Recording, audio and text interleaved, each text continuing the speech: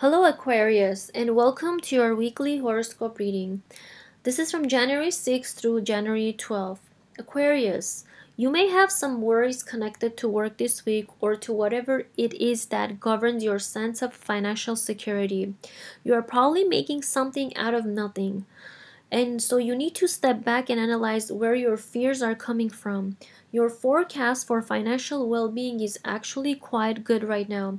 So set aside those thoughts and concentrate on where you see yourself in your career or with your finances, for you can make it happen. What's more, maintaining a spirit of optimism will bring these things to you more quickly.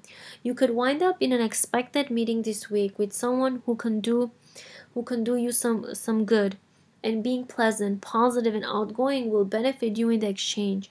Just um, just think happy thoughts and assume the best and uh, share your deepest feelings with someone you care for. Perhaps you have been holding back on those fears of revealing the depth of your emotions, but you should discover that this person's feelings are reciprocal, which will be very gratifying and well worth the risk of being vulnerable.